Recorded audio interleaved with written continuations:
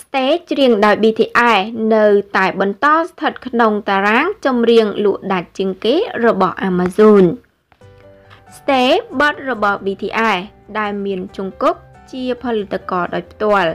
ពេលនេះនៅតែបន្តបង្ហាញខ្លួនក្នុងតារាងលក់របស់ Amazon ចាយោងតាម Amazon បានឲ្យដឹងថាបទ Stay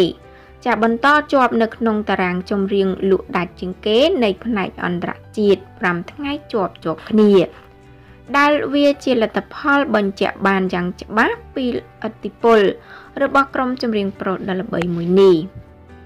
ចាស្តេជាបទដែលបានបញ្ចេញក្នុងផ្នែកមួយនៃអាល់ប៊ុម B ចារបស់ BTS ដែលចេញមុខក្នុងទីផ្សារតន្ត្រីកាលពីខែវិច្ឆិកាឆ្នាំមុន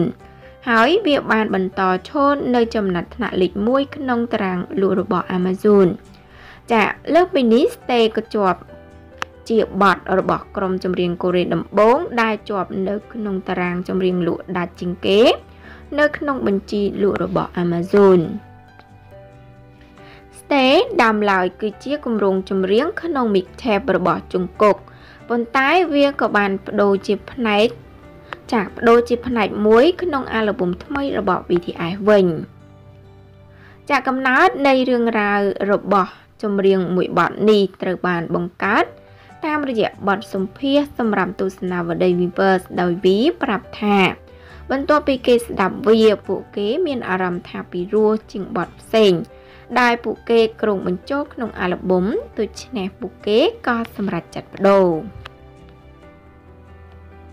ចាប្រិមត្តពុកម៉ែបងប្អូនជាទីមេត្រី ចាសម្រាប់អត្ថបទព័ត៌មានដែលនាងខ្ញុំបានជម្រាបជូនបងប្អូននៅពេលនេះចាក៏សូមបញ្ចប់តែត្រឹមប៉ុណ្ណឹងរាល់កំហុសខុសឆ្គងទាំងឡាយចាសូមខន្តីអធិស្ឋាន